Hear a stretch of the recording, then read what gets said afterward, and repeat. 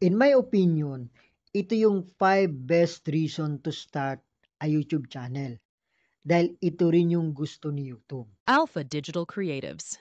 Elevate your content, empower your channel. Hi there, good day. My name is Adrian and this is Alpha Digital Creatives. Samahan mo ako sa pagtuklas sa mga bagay na makakatulong sa pagbuo ng YouTube channel. Alam mo, sa pag-uumpisa ng paggawa ng YouTube channel, you must know your why. Dapat alam mo yung objective, bakit mo ginagawa yung isang bagay. Yung may sense of purpose ka, it adds meaning and motivation to your journey as YouTuber. Kaya narito yung 5 best reason to start a YouTube channel. Reason number 1, be a creator, not just a consumer. Once na mag-uumpisa ka ng YouTube channel, hindi ka na lang basta consumer, kundi ikaw na ay isang content creator. Bagay lahat naman tayo consumer. Nanonood tayo ng mga video sa YouTube. Pero once na mag-create ka na ng sarili mong channel, hindi ka na lang basta yung tagapanood, kundi ikaw na yung mag-create na mga content na papanoorin. Ano ang meaning ng content creator?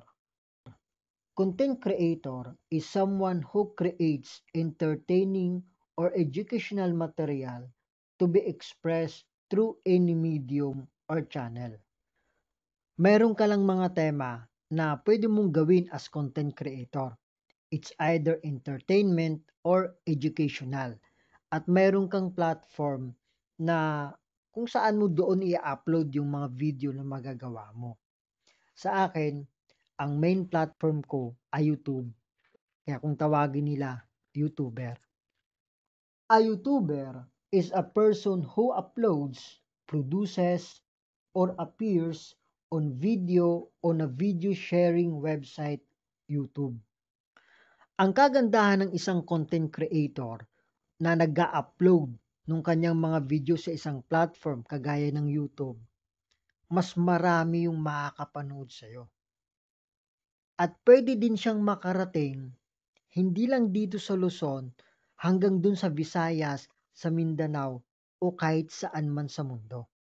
Kaya kung ikaw ay isang YouTube educator, mas marami at mas malawak yung magiging audience mo hindi kagaya ng isang teacher na nagtuturo sa classroom. Yung makakapanood at makakapakinig sa kanya, yung nandun lang mismo sa classroom. Limitado siya. Pero pag tinapatan na kita ng camera at i-upload mo na yun sa YouTube, kahit wala ka dun physically sa Visayas at Mindanao, pwede ka nilang mapanood. At hindi lang yon. Once na mag-upload ka ng video dito sa YouTube, kahit lumipas pa yung ilang taon, pwede pa rin siyang mapanood pagka ang ginawa mo ay evergreen content. At yun nga yung ating reason number two, magkakaroon ka ng mga video digital asset or evergreen. Ano ang meaning ng evergreen content? Evergreen content on YouTube refers to video that remain relevant and valuable to viewers over a long period of time.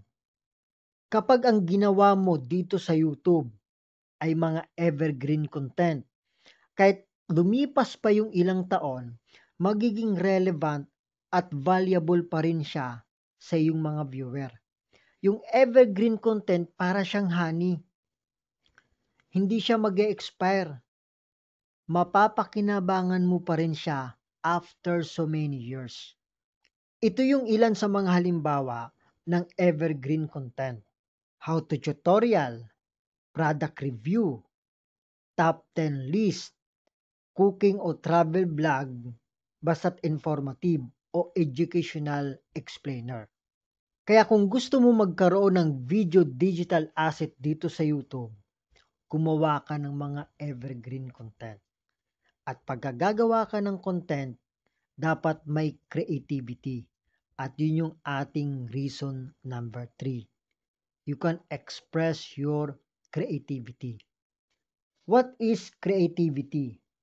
Creativity is the tendency to generate, recognize ideas, alternatives, or possibilities that may useful in solving problem, communicating with others, and entertaining ourselves and others. As creator, you must create content with creativity. Paano yon? Ano ba yung process ng creativity ng isang content creator? Una, magsisimula siya sa isang idea. Pangalawa, yung idea na yon, gagawa ka ng video na magsusolve ng problema. Pangatlo, yung solusyon dapat makarating sa iyong mga viewer.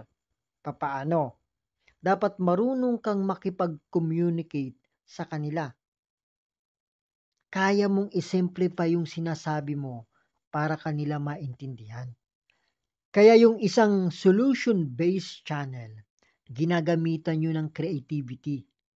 Ikaw ay magiging isang YouTube educator na magbibigay ng solusyon sa mga problema ng iyong viewer. At yun nga yung ating reason number four. Provide value. Providing value means helping someone or an organization meet their goals in a measurable way. Ang dahilan kung bakit ka gumagawa ng content dahil a content creator find a problem to solve or find a need to fill. You provide value to your audience. Nagiging valuable ang isang content kapag nakakapagbigay siya ng entertainment or educational value sa iyong mga viewer.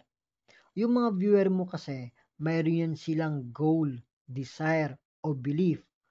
Pag yun natugunan mo as content creator, you are providing value to them. At pagka naipo-provide mo na yung value sa kanila, hindi na lang sila basta mananatiling audience magsusubscribe yan sa channel mo. Dahil alam nilang nakakakuha sila ng value sa channel mo. At pagka dumami na yung subscriber, pwede nang ma-monetize yung yung channel. At yun nga yung ating reason number 5, monetization potential. YouTube monetization is the ability to make money from your videos to enable monetization on YouTube, you need to meet certain requirement and join the YouTube Partner Program. Dito sa YouTube, para ma-monetize mo ang iyong channel, kailangan ma-meet mo yung requirement. Dapat maabot mo yung 1,000 subscriber at 4,000 watts hour. Pagka mayroon ka na niyan, pwede ka nang sumali sa YouTube Partner Program. Then, mag apply ka sa AdSense para pwede nang lagyan ng advertisement yung mga video mo. At pagka may papasok na ng mga video, dun ka nakikita. Yun yung AdSense revenue. Pero maliit lang yan sa pwede mong kitain dito sa YouTube. Meron pang ibang mga income revenue na pwede mong gawin sa pag-YouTube. Pwede rin kumita yung channel mo sa affiliate marketing, sponsorship, brand deals, membership, at mga digital product. In my opinion, ito yung 5 best reason to start a YouTube channel.